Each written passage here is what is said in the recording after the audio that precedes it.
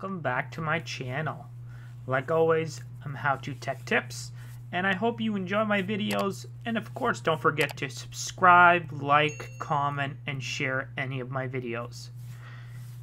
If you have any requests, please comment in the comments section below, or you can even email me. My email is in the description below. If you start a program and receive an errors from Windows that is unable to find VCR runtime 140.dll or that it's missing in this case, you can use this guide to help you download the necessary program that is needed to fix this problem.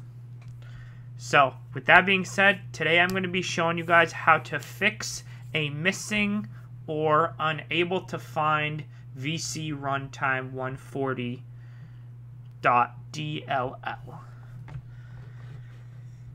Okay, so the first thing we need to do is install or you can say download the Visual C++ 2015 distributable distributable package so, first thing we're going to do is click on our internet browser. And from here, we're going to type in https da, da, www dot microsoft.com dash en dash us and then we're to do dash downloads, or download, dash details, dot aspx question mark id equals 52685. And that's it. Uh, don't worry about, you can either just follow along like how I did or you can just copy and paste it. I'll put it in put it in the description below. You can also go through the Microsoft official website if you want. Um, whatever you're most comfortable on doing. Okay, so after we click, clicked enter, we're going to say no thanks. This is the download. So Microsoft Visual C++ 2015 redistributable redistributable update 3 RC. Okay, so here's a bunch of details, which one we want, or which ones are available. What are the system requirements? And then install instructions. You can, you guys can read that on your own if you want, but I'm just gonna skip to the downloading part. So here we will select whatever language is yours, Turkish, Polish, German, French. I'm English, so I'll leave it at that. And then you want to left click on download. And then from here, I have a 64. So we will click that one. Click next and then it should come up. Make sure that it is an exe file that is being saved. If it's not, then it will not work. Click Save. And then you'll see, if you use Google Chrome, it'll be at the bottom. Or you can go to wherever you saved it. I saved it on my desktop.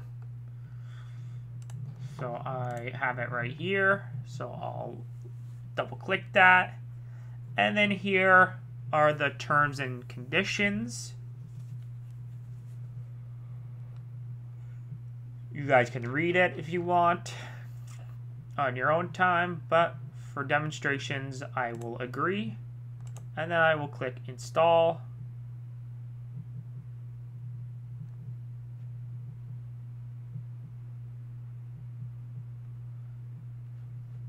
Oh, okay, perfect. So if this happens, then I already have it installed on my computer.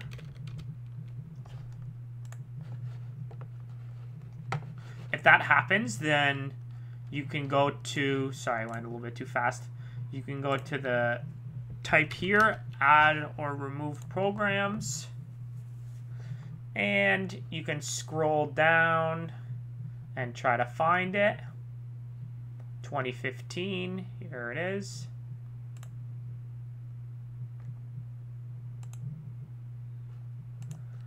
So if it's not working, you can go to this section that I said, and then you can left click on modify. And then this is if it's installed, and then you can left click on repair and see if that will fix your problem. But for demonstrations, we're going to uninstall it real quick.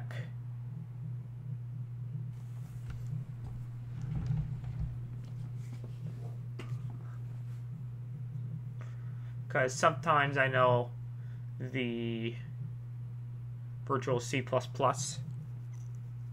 software can sometimes be buggy and not work properly so that's a good thing if you can go to modify and then repair it by itself and normally that will fix the problem if you already have it downloaded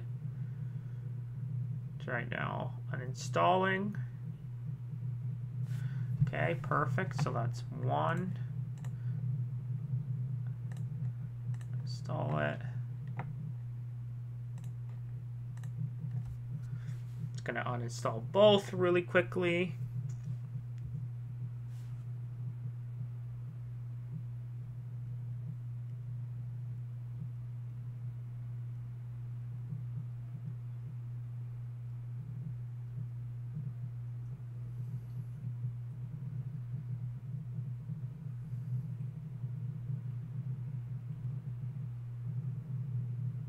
Okay, so it uninstalled and you'll see that it disappeared already.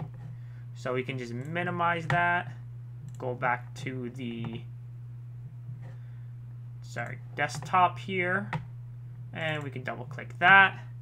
And here are the terms and conditions again, and we can agree and install. And now you can see that it's installing like how it's supposed to be. This may take a minute or two.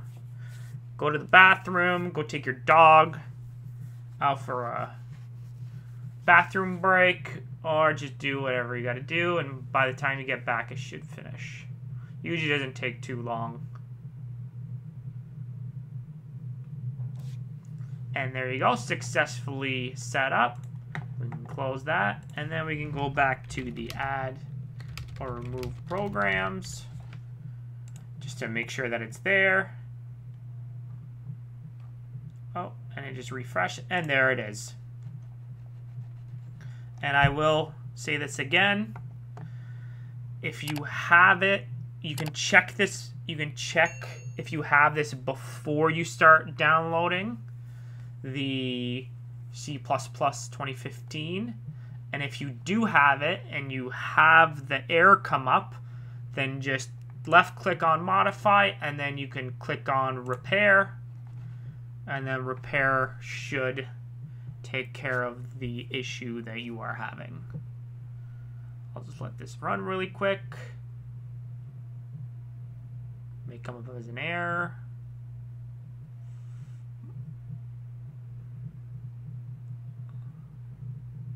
No. There you go. And then should say setup successful, close it, and you're good to go. There are cases where you may have to reset it, reset your computer anyway, and but those are some very rare occasions. Thanks for watching, guys. If you guys have any requests or having any troubles, feel free to comment or you can even email me. And like always, I'm How To Tech Tips. Keep teching on.